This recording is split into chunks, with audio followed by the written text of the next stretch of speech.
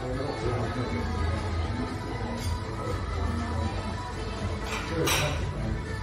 you.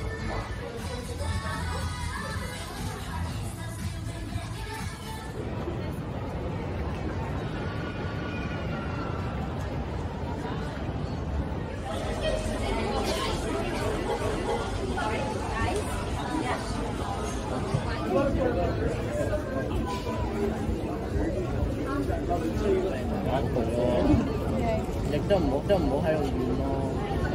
依家唔係外表身體，都冇人叫我出去。